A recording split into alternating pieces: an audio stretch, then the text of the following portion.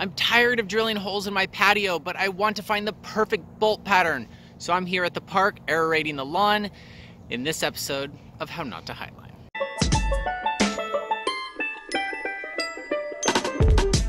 Hi, I'm Ryan Jenks and welcome to The Park. We are going to test different bolt patterns by using these 14 inch long by 3 8 inch lag bolts with these chains on them and we can do those in different configurations without putting a bunch of holes in my patio.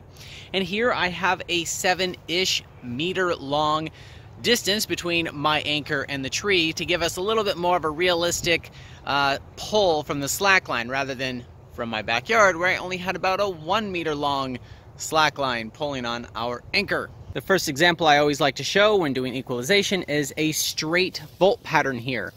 You can see how it's a little bit less than two feet across. The uh, bolts are in the grass right there. I added a quick link here to make this a little bit easier to attach. Now we have Andy Lewis's four dynamometers and my one dynamometer and I'm just using figure eights here uh, to do an equalization because those are the most easy to duplicate when you're watching a YouTube video. The way I thread my sliding X is to go up the dyno, down the shackle, up the dyno, down the shackle, up the dyno, down the shackle, and just continue that. And then only this strand right here is crossing over the other three, which are not touching or crossing over each other. And that makes it sit mostly flat. So the math here is three kilonewtons at the master point, and on a straight bolt pattern, you have 0.3 kilonewtons on the outside and 0.7 kilonewtons on the inside. This is uh, a little bit more than double the force on the most centered bolts. Okay, so now I changed it, the same bolt pattern to a dynamic rope. The rope we were using is a very static canyoneering rope. It's a Dyneema core, just like soft shackles are made out of, with a Technora sheath. So this is actually like 20-ish kilonewtons, 8 millimeter rope, rather than a standard 8 millimeter climbing rope, which is only 14 kilonewtons. This is bomber. However, I am asked that a dynamic rope, would it equalize better? And I have moved this around. I shook it back and forth aggressively. We're at 3 kilonewtons right now. And, uh, no, it doesn't. We have half a kilonewton on the outsides here. And in the middle, we have almost 1 kilonewton it's significantly um, consistent by pulling the things most in line with it. Now here is the same 9.2 millimeter dynamic rope, but it's 11 feet long.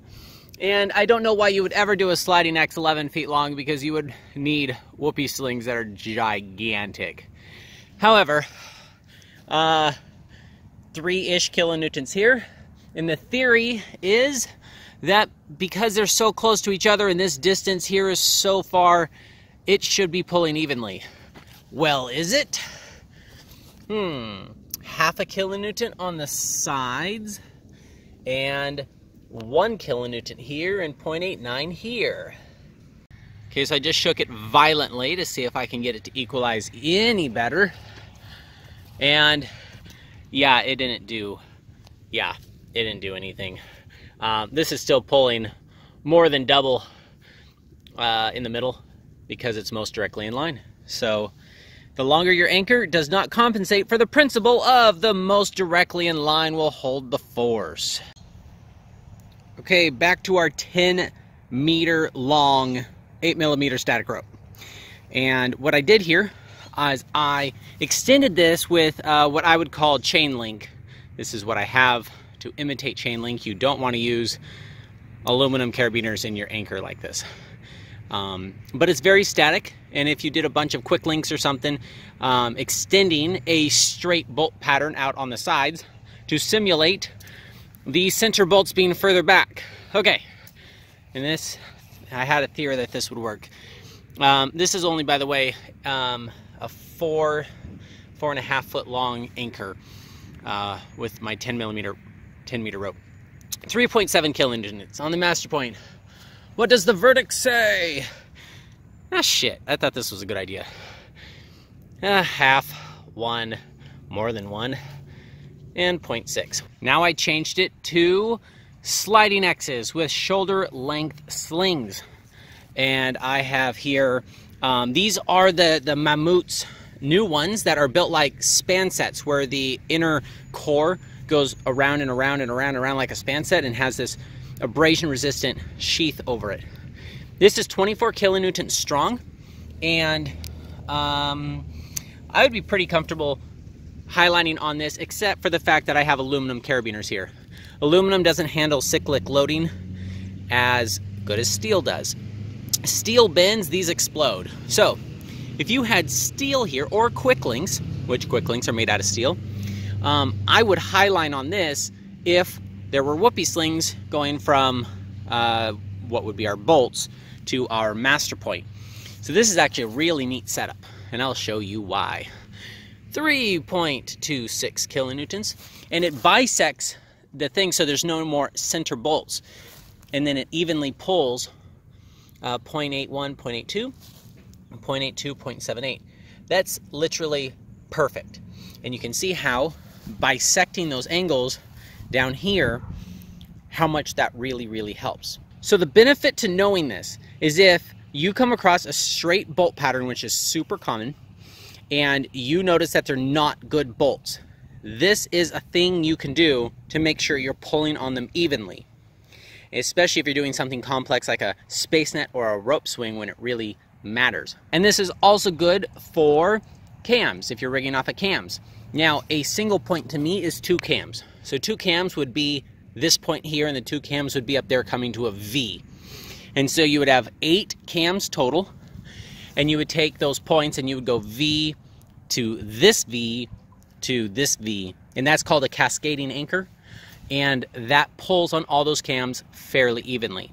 And of course, you would whoopee sling directly to all the cams. And you would do either the set of cams or you would do each one individually and have eight whoopies, which would be a clusterfuck here at the master point. But uh, depends on how good of the rock and how good your cams are and how confident you are in placing them. Uh, you get to decide all that when building your anchor. And now for my favorite configuration, the oh so simple figure eight. Figure eight with no knot in the tails. The tails just go through and then you tie it in, whatever. Uh, we show fig, uh, BFKs in other videos. 3.5 kilonewtons at the master point, and I did my best. I tried so hard to uh, tie this evenly, and I kicked it around afterwards. Anyways, it's not even. These are almost double in the middle, just like before. Uh, and But you know what? That's super good enough. A bolt is 24-ish kilonewtons. These little six millimeter guys are like 30 kilonewtons. Your rope, your BFK, we did some tests on these. Normal eight millimeter static ropes broke at like, I don't know, 14,000 pounds. But um, super strong, stronger than any of your, your webbing you're ever gonna attach this to. So uh, if you're not worried about each individual point, if you're not working with really soft rock or dealing with ice screws and glaciers or dealing with cams and weird situations, this is fine. You have like a 20 to 1 safety ratio, and it's redundant as hell because any of these strands could break and it's isolated because of this knot. I highly recommend the BFK for almost every anchor that you ever do. It's just nice to know what's going on with the forces in each strand in case you have to make hard decisions. Okay, let's try this bolt pattern here uh, what I did was I put the slack line uh, in line so I know what center is, which is very important. And then my two outside bolts are exactly one foot apart. And from the back to the side is 12 inches apart from that bolt to that bolt. Now it's important that a half inch bolt has 10 diameters apart from each other. In English, that means half an inch times 10 is five inches apart from each other. Um, so that would be five inches apart.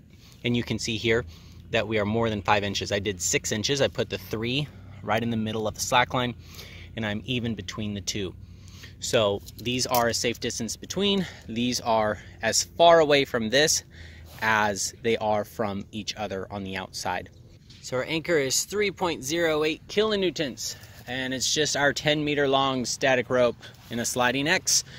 And we have 0.6 on the outsides and 0.7 and 0.9 on the insides.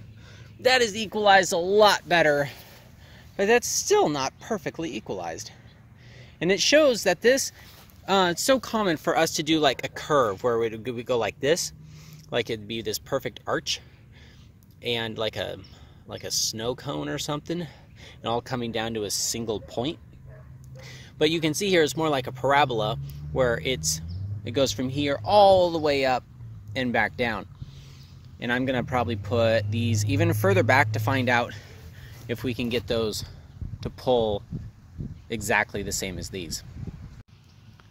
Okay, so I moved the back bolt 16 inches instead of 12 from the outside, and we have 3.76 kilonewtons, 0.6, 0.7, 0.9, 1.3. Boy, I am so confused. How far back do those back bolts need to be before they share the damn load evenly? Okay, so I moved them really far back. These are one feet apart on the outside, and the bolts on the back are two feet behind those bolts. And our master point is 3.44 kilonewtons, 0.8 on these outside ones, and 0.8 on the back ones. That is pretty exciting. You can see here that we have two feet here from this bolt if you go directly back. And of course, these have to be spaced out um, at least the minimum five inches apart. Uh, that is really far back. That is quite a big parabola, but you can see here that we have uh, really, really good equalization. Okay, the same configuration with the back bolts twice as far back as the outside bolts are close. We have a BFK 3.2 kilonewtons, the master point. Uh, basically 0.4, 0.7, and then 0.9 evenly back here. That's not terrible. And I do like the simplicity of having uh, isolated legs, uh, even though they're not perfectly equalized. Um, it's, it's okay. BFKs are random at best. I'm sure I could tie this three different times until I until I get an, up an even load. But that's just how BFKs go. It's just really hard to get them to equalize. And if it really matters, you need to do a sliding X or a cascading anchor with whoopee slings uh, if it really, really matters. Okay, so I completely moved areas. I was over there, and now I've built an anchor over here, sliding X. Uh, same dimensions as we were successful on the other side, 2.7 kilonewtons, to see if it's replicable, if it's consistent, if it's going to give us the same results, half a kilonewton on the outside. 0.72, 0.8. Close. Damn it. But not perfect. This is one foot apart here and two feet apart from here to here. So on this pattern, I split the closest ones out an additional foot. So they're two feet apart now. And the back ones are two feet behind those. We are at three kilonewtons. 0.7, 0.67, and 0.8 and 0.7 was actually actually really helpful to spread out these outside bolts. Uh, this is a nice pattern. We have nice angles on our sliding X here. And for our final bolt pattern, a three bolt pattern. Has anybody even asked why we use four bolts?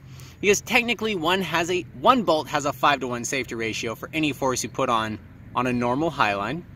Two is redundant, and three is overkill. I actually don't know why we've done four bolts. I think that was a lack of knowledge back in the day on how much force these things actually held.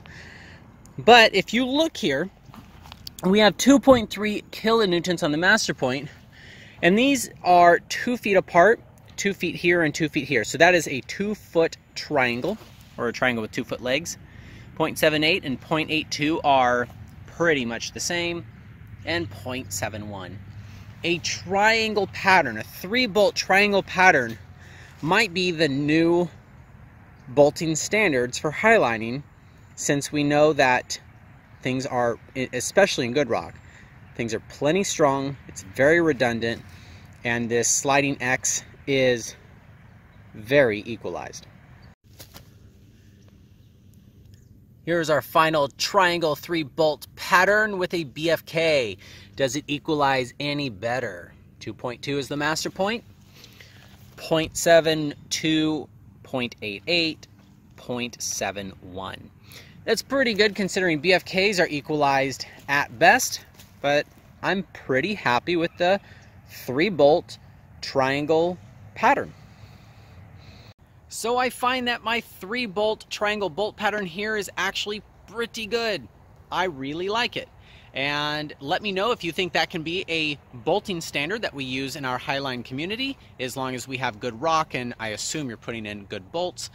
Uh, let me know in the comments below the flaws you think are in my park science and what other stuff you think I should try.